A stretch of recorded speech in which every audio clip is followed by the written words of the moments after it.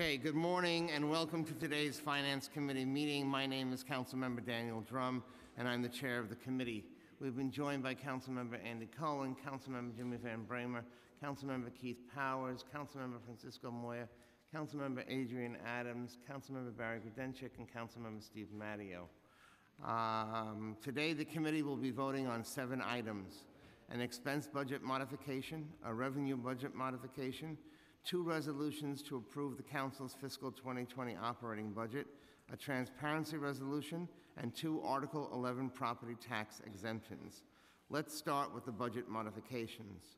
The first modification is an expense budget modification that represents movements of approximately $1.8 billion of funding between and within city agencies to implement expense budget changes which were reflected in the February 2019 financial plan.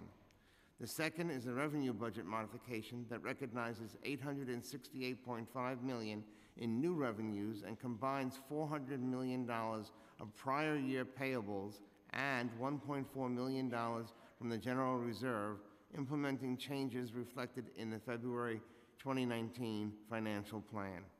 Of these funds, the total amount of 2.65 billion is added to the budget stabilization account, which will prepay debt service for fiscal 2020. The third and fourth items are the council's fiscal 20 operating budget, which totals $87.6 million.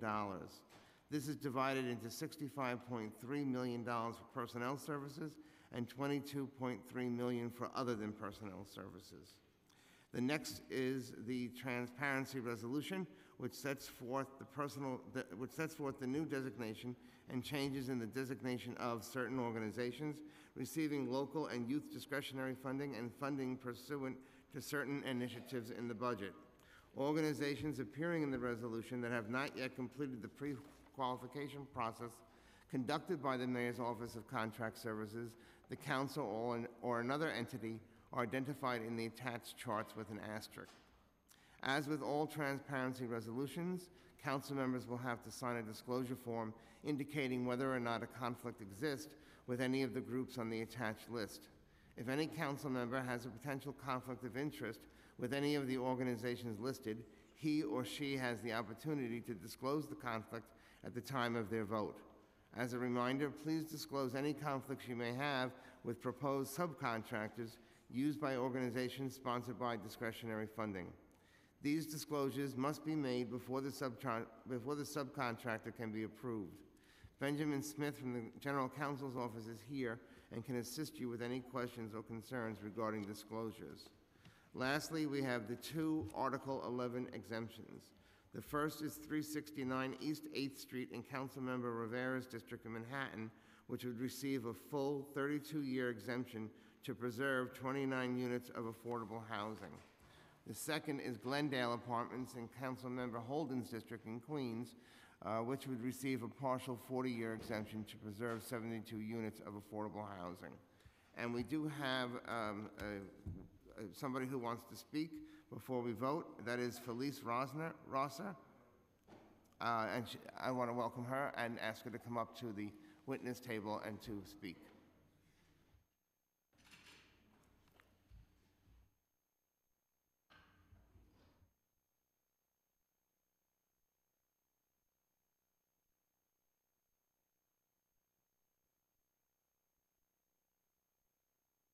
Good morning, everyone. Um, I'm uh, a resident at 368 East 8th Street in Manhattan, and I'd like to read a letter that we've prepared to present to you. Uh, Dear Chairman Dromm, we understand that our request for an Article 11 exemption is on the Finance Committee's calendar for this Thursday as file number T 2019-4022. We, the board members and tenants of 368 East 8th Street HDFC, request the support of the New York City Council towards our Article 11 property tax exemption application, which has been submitted and is pending the council's approval. Our councilwoman, Carlina Rivera, supports our request as we have shown her that we are reliable, responsible, and trustworthy in our commitment to preserving our building as affordable house, as an affordable housing resource, as we have for 40 years. Our building's members reflect the diversity of the Lower East Side in age, race, creed, and sexual orientation. There are owner members who have grown up in our building and have lived their entire lives here. Our building was a force for stability during decades of neglect and crime in our neighborhood. HPD is also supporting our request for an Article 11 property tax exemption. We have worked closely with this agency to apply for a Green Housing Preservation Program, GHPP, loan for the building's rehabilitation and will be signing a new regulatory agreement upon closing. We appreciate your consideration to this matter and look forward to your support and approval. Thank you.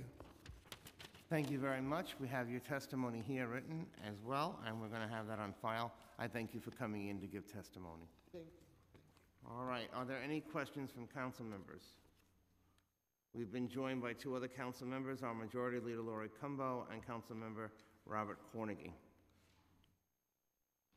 Okay, and with that, I'm going to ask Billy Martin, the committee clerk, to call the roll.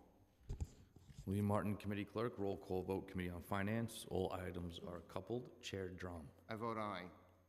Cohen. Cornegy. Cumbo. Van Bramer. Grodenchik. Aye, but I do want to say that I am disappointed, even though I love the people that work at the Department of Sanitation, that we have to dip in a relatively snowless winter. Um, They were spreading salt around like it was, I don't know what it was like. It was like something that didn't cost anything. And um, I am going to vote for this, but I hope that in the future, um, the other side of City Hall will be a little more careful uh, when they send people out. It's also an environmental hazard as well to spread all that salt when it doesn't snow. So, thank you.